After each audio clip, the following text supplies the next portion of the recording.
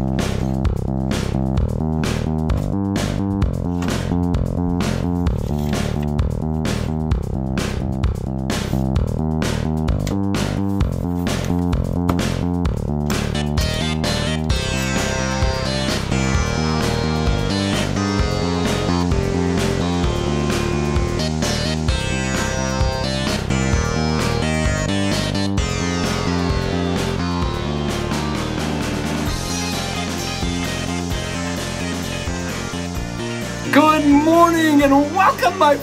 another Subie Shaves video with me on a beautiful morning.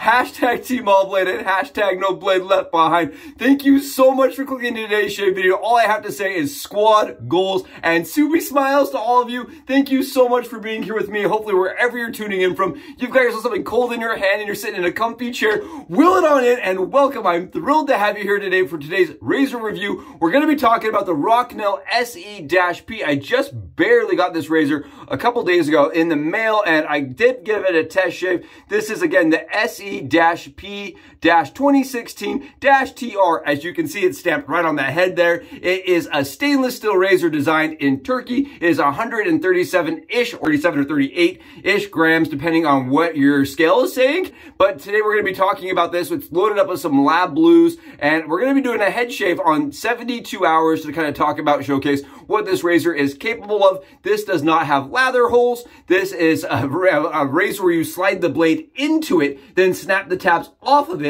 to get it to line up correctly. I'm going to preface correctly. We're going to talk about the things that I think this razor uh, does well, and we're going to talk about the things that I think are misses. There's a couple points I want to call out as we're shaving today, but I want to just be clear and transparent. Just because I don't love something doesn't mean somebody else doesn't, right? I'm going to try to be as respectful as possible while discussing some of the things that I think are flaws or design uh, design errors. Really straight up, honestly, some, some issues. Uh, I'm really excited about it, and I'm excited to have you here for it with me. Today, we're going to be using the Bailey's Irish Cream. This is the Bailey's Deliciousness from Phoenix Artisan Accoutrements. Come on, it's March. It's March time. We've got to use this, right? I got to break it out. It's one of my favorite March scents. I honestly, I think last March, that's all I used. I swear, I love this scent by Phoenix Artisan Accoutrements. If you're curious what it smells like, it smells like booze. It smells like Bailey's. It has vanilla to it. It's a very sweet scent, but for me, it does smell like that little bit of extra um, cup of joe goodness. If you, if you really want an honest truth there, it does smell like Bailey's Irish Cream, and I really like it. I think it's a fun scent, and it was limited last year. I don't know if Doug's re-releasing it this year, but I really like it. We're going to be using that beautiful green Mountain Hare Shaving glowing brush, because it's green, right? And we're going to be doing it in our Phoenix Artisan. This is the Travel Scuttle, and there's a reason why, because not only is the razor we're using today definitely not my preference, but the scuttle that I was going to use took a dive into my sink and is no longer with us. My PA Dreamscape scuttle is dead. It broke. I am I am super devastated by it, but that doesn't mean you can't get a good lather with the travel scuttle from Phoenix Artisan Accoutrements. The Phoenix Artisan Accoutrement Dreamscape scuttle is a fragile ceramic. I mean, you can be kind of, you know, mishandled a little bit, but mine took a fair drop today and it is no longer with us. So again, travel scuttle with this beautiful scent, absolutely fantastic. Bailey's beautiful Irish cream. We've already got it lathered up and whipped up on the dome today. Like I said, 72 hours of growth. I did film this on the stubble cam, which I'll have down here. I want to mention this. I did that as a kind of like a, a fun little, like, just kind of a joking manner, you know what I mean? And people reached out and said they loved it. They're like, show us the stubble cam more often. So as, as, as requested, I will have the stubble cam for this 72 hours. It is thick. It is dense. My hair is just almost ready to go to a stylist and go crazy. Let's get rid of it. Let's let's go back to that fresh, clean, crisp, super, super smooth shave. At least let's try to with this razor. Now, the first thing I did when I unboxed this is I, I noticed is that it's a really beautiful box. You can tell that Rocnel spent a lot of time designing their, their, um, the way you, the presentation, when you open it up, right? That experience as you open it up and you see this beautiful blue box. I honestly was like, oh, this is really, really nice presentation. You open it up and it's like magnetic. It's got that magnetic closure to it. So it's really nice. You open it up, it's got that foil holographic holographic um, sticker on it to show the label and the, the serial number, and it's got like, you know, made in Turkey. Really pretty box, velvet lined.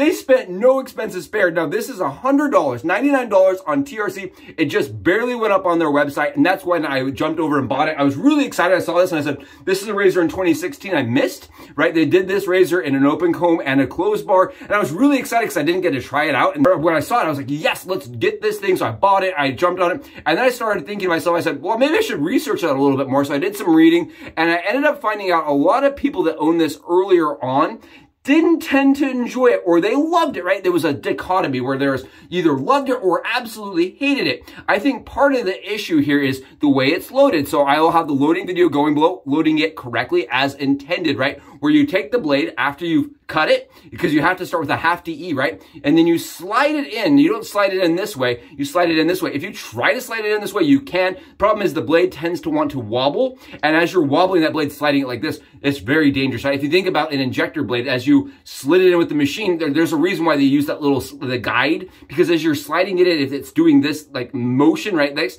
it can cut you really, really badly. So you slide it in like this. The problem is, is the tabs that you slide it in with are bendy, right? So as you're bending it and putting it, it's very uncomfortable on your hands. So most people will set, use a towel. You grab the towel, you slide it in. There's a problem though. There's an amount of pressure that you can put on a blade to get it all the way back, right? And I think the problem is a lot of people that are using this razor are not getting it fully seated because it's very, very uncomfortable to put the blade back all the way, right? To put it back all the way, it's extraordinarily kind of fragile and those little tabs will want to wobble on you. So I think most people feel it start to bind and they pull off and they say, okay, it's good. Problem is there's about two millimeters of binding that has to occur for that blade to be really, really tense in there. So what I used is a blade box to push the blade all the way back.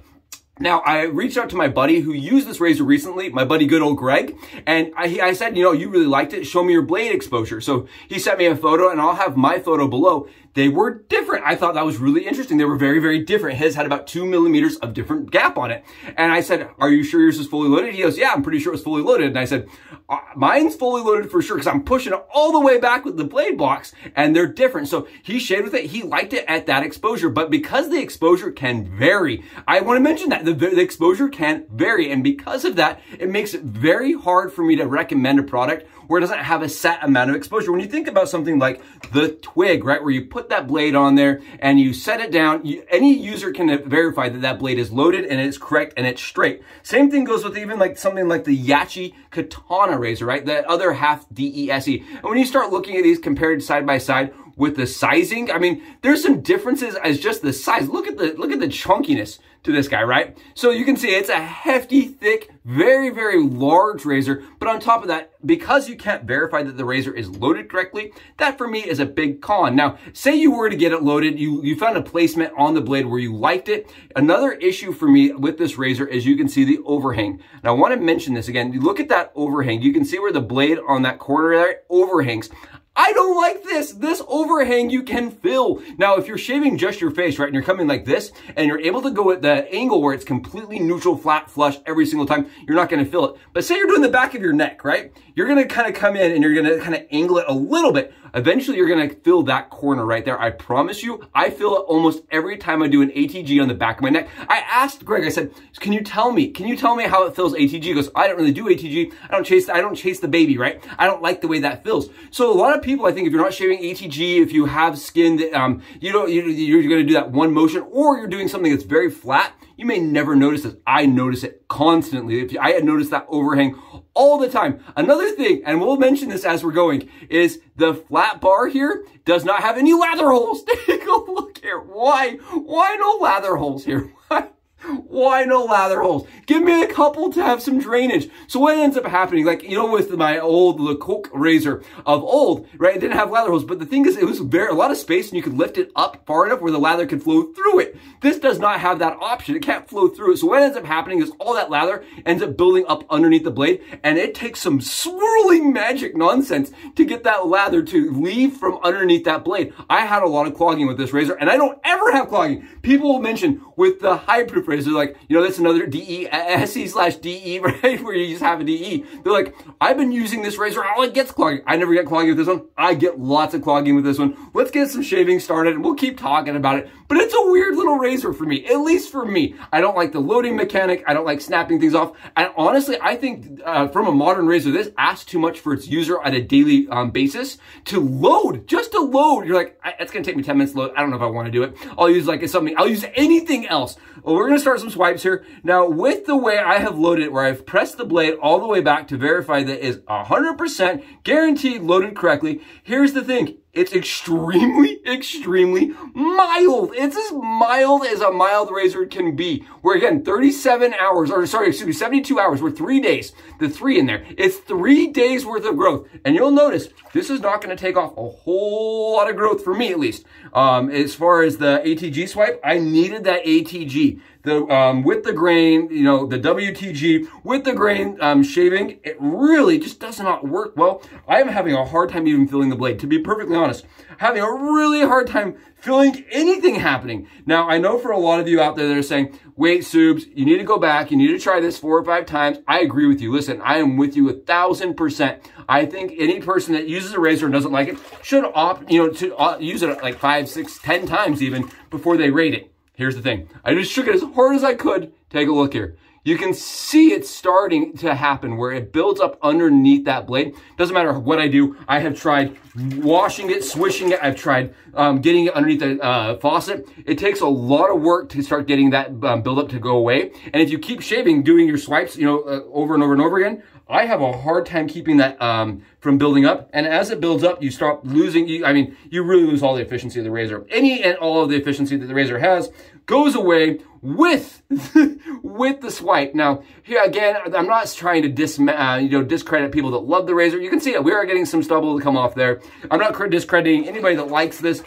I'm just saying, for me, this is, is a razor that I wanted to get out, a uh, review I wanted to get out because I wanted people that are looking over at TRC that are saying to themselves, is this worth buying for $100? A Rocnel, right? Rocnel has a tendency, it has a reputation of being very, very good shavers, having high quality razors, and having really nice machining. At least that's the, the um, kind of the information I have read and the kind of reputation that I have seen. Now, you can see here, take a look. We're getting stubble to come off, right? Oh, there are swipes that are working for me. There are swipes that are not working for me. I'm having kind of a, a mixed experience here. And that was my experience the first time I tried this out. I want to preface that again. I did try this out because the reviews on this razor were very, very mixed. And I wanted to go into this and have, see, I got the corner there. I wanted to go in here and kind of have uh, an idea of how it was going to shave for us before I got on, on channel here and talked about it. I just, this is a very strange, very mild. And as the lather builds up in the razor, you almost have to keep swiping and then like a swipe and then rinse and a swipe and rinse. You can see here, we're getting a lot of stubble to come off on that ATG swipe. But again, check it out. I, I shook it hard. You can see it has a really hard time flowing for me. And that's with pretty hydrated lather. I'm not to say I have the best lather in the biz, but we have hydrated lather. I know that. I know it's hydrated. And I know that, oh, I got the corner again. I constantly get that corner. I think it just showcases that I have skills that need to be improved. Because for me, I get the corner almost every single swipe. We're going to be shaving for the next five minutes. Just so everybody's clear, this is going to take me forever to get through. I was worried with this amount of stubble that I was going to be, um, asking too much from this razor. I think it is very mild. I think if I were to rate it on blade fill, when it's fully loaded correctly, and I'm going to stress that again because I think there's a lot of users out there that said, oh, I get lots of blade fill and it shaves really, really intensely. They don't have that razor loaded. I don't believe they've got that razor loaded. I think they may have that razor crooked because it's very easy to have crooked, right? Another thing, and I'm going to mention this because I think it's important, is that these corners right here, when you snap them off, they don't always snap off clean. Take a look here. You see that right there? Mine didn't snap off clean today, and I've got a sharp freaking little sharp knife edge right there. So when you are using this, if you were to go to shave your armpit and you put it here, you may catch that corner on the side of your arm or something and really do some damage. I know because I have done it. I have done it myself. Now again, this is a razor that I, I, thought that the reputation of Rocnel would make it so that the razors that they produce uh, were, would be consistent. But from what I'm finding, it is a very, very, this, I, I think it's almost like a, a cool concept, that is not really well done. You know, it's not executed well, in my opinion. Now, you can see, does it shave? Sure. Now, if you accidentally bump the blade, say you were to set it down on its side, you have one of these edges, like not all the way, you know, it's a little bit exposed. What's going to happen is that blade can move. There's not a lot of pressure on that blade holding it back there, to be honest, so that you can slide it out, right? Because of that, the blade can do this. It can wobble side to side. I asked a couple people that own the razor, I said, I said, go ahead and just put a little pressure on that corner and see what happens. Everybody's moves. Every single person I talked to moves. And they said, well, it's not a problem because I never put the razor down or I don't have a problem with that because, you know, I don't ever have a, surface that's on level. If you're shaving a surface on like a kneecap, right? And it were to hit a corner on that, um, on your knee, it will move, slide, and cut you. I, I, I know because I did it. I have had it happen. It is not a great, in my opinion, not a great razor to be shaving if you're not shaving a flat surface. Now, again, we are shaving very, very, um, with very sharp blades, and we are shaving against the grain, and we're doing a lot of buffing strokes here. And I know people said, this is a wicked razor, it's a dangerous razor, it's a sharp and very, very efficient razor.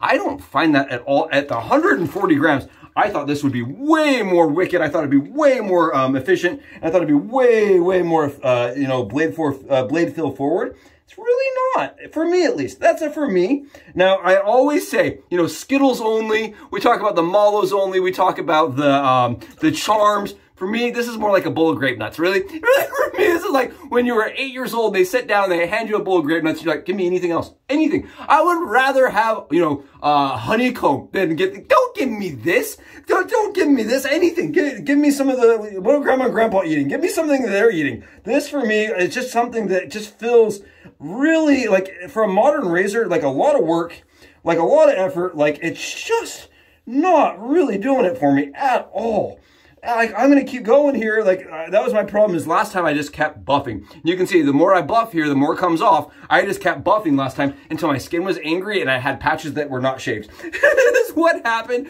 To be perfectly honest, it was, I had areas on my head that were not shaved and I had areas that felt pretty smooth and then the rest of it was just irritated. The whole entire skin of my head was irritated, and I, I haven't picked it up since. to be honest, I picked it up one time. I messed around. I used five blades. I want to mention that again. I, I circulated through five different blades. I tried Lord, Derby. I tried two different types of Personnas and feather. One shave. I did all five. I did a full body shave, a head shave, face shave. Every single uh, blade, I, I, I tried double stacking because you can get a second blade under there to help increase rigidity and also make it so the blade doesn't move as much. That's how I ended up doing the body shave because it was giving me cuts all over when the blade would shift. So I ended up putting a second blade underneath there to um, try to help it um, be a little more secure. And that does work. I will showcase that right now. I have a video uh, right down here showcasing that you can slide a secondary blade underneath that to create more rigidity and to create more torque. I found that to help the shave quite a bit, but I don't think it saves the razor. And I don't want to, um, you know, go on channel here and say, I think you should own this razor after all the effort I've had to put into it to try to get it to work well. Take a look here. Ah, yeah, it shaves. It's shaving. And that's what I think a lot of people have noticed is, oh, it's shaving really well. The BBS was not a BBS for me. It was a DFS that lasted probably, uh, I would say 12 hours. I got about a 12 hour DFS.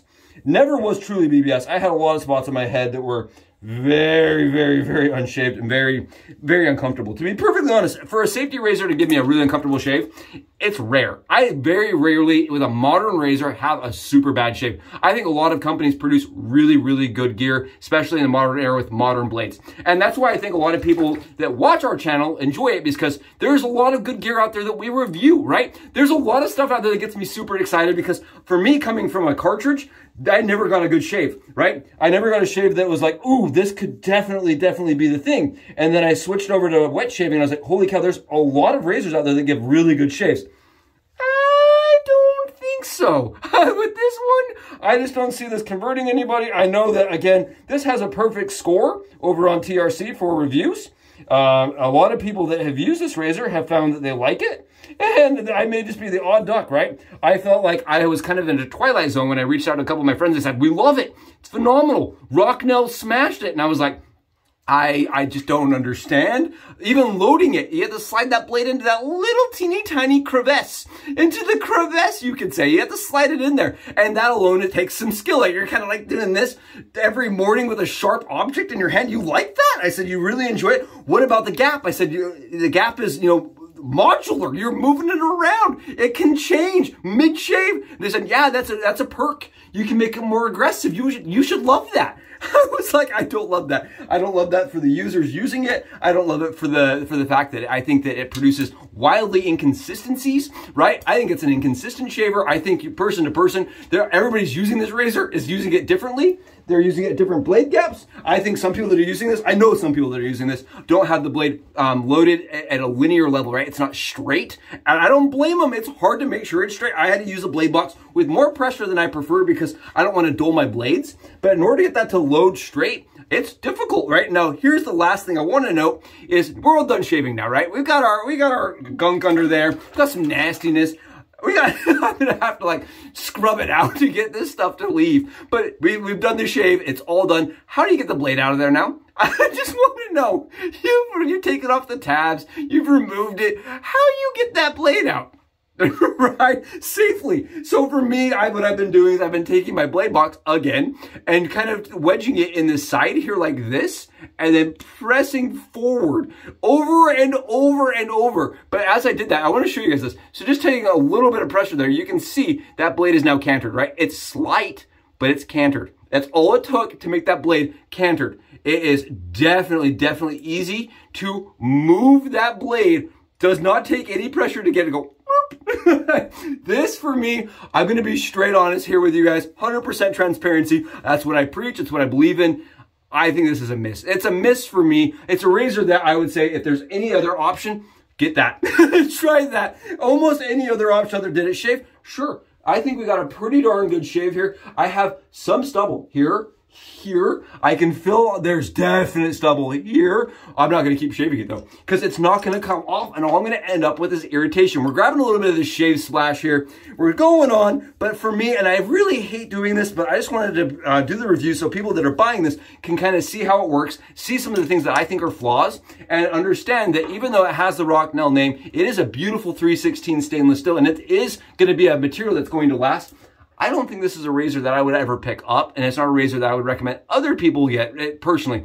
Because this right here is hard to load. It's hard to see that if it's, it's correct. It's hard to unload. And on top of that, it clogs consistently for me. Uh, it's very, very, very mild when loaded correctly. And the fact that you don't know if it's loaded correctly and you have to ask yourself the entire time, is that straight? It's not a great razor in my opinion. That's again for me. Thanks again for joining me for this. Again, the Rocnel SEP. This right here, it sounds like a military name. It sounds like something that was like being designed with many, many attempts. I don't know how they ended on this one.